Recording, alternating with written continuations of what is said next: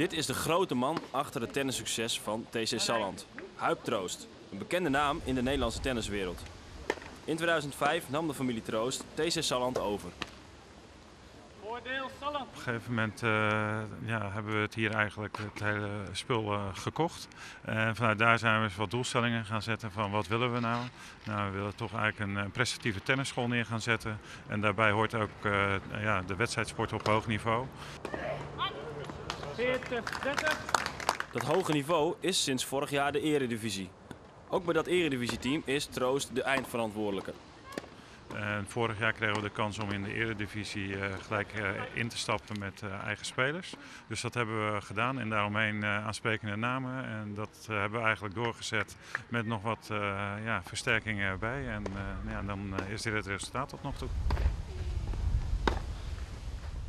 Naast spelers van de eigen tennisschool waren er dus ook toppers van buitenaf nodig voor een eredivisiewaardig team. Dat heeft ervoor gezorgd dat de Nederlandse tennistop goed vertegenwoordigd is in Badmen. Ja, op het ogenblik denk ik wel. Als je goed om je heen krijgt. Je hebt eh Richard Hogekamp net gehad natuurlijk. Nummer 2, Timo de Bakker net eh, gehad. En dan nog op de andere baan staan Thomas Gorel, ook een eh, ex-Davis Cup speler. Ja, wat mensen die ik misschien in het verleden les hebben gegeven, die normaal de hoofdprijs vragen. Maar voor mij eh, het, eh, het iets eh, netter doen, laat ik het zo zeggen.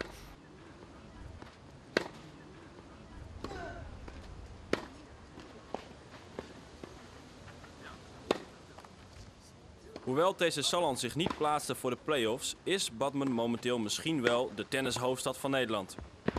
Achter het eredivisieteam zit nog een hoofdklasseteam en ook de dames en jeugd spelen op topniveau. Bovendien komt ook de andere club, TC Badmen, uit in de hoofdklasse. Twee verenigingen in zo'n klein dorp is volgens Troost alleen maar goed. Ja, ik denk het wel. Ik denk dat het elkaar kan versterken. Hoe mooi is het dat bij de andere club Paul Haarhuis bijvoorbeeld speelt. Ja, dat is fantastisch natuurlijk voor het dorp. En eh, ja, dat wij hier ook hoofdklasse hebben. En eh, dat, eh, nou ja, wat ik al zei, Richel Hogekamp en Timo de Bakker hier ook spelen. Ik denk dat dat prachtig is voor een, een dorp als Badmen. Het hoge niveau wordt dus vooral gerealiseerd door geïmporteerde tennissers. De vraag is, hoe staat het dan met de aanwas uit Badmen zelf? Ja, we hebben hoofdklasse jeugd. Hè, dus eh, nou ja, we, we hebben een aantal goede eh, spelers en speelsters. Eh, nou, een jongen die uit Badmen komt is Timo Teloze bijvoorbeeld. En die eh, staat nu nummer 18 van Nederland onder 12. En is twee jaar eh, pas echt goed bezig. En wie weet hoe dat in de toekomst eh, kan gaan eh, uitbreiden. Dus eh, we doen ons best.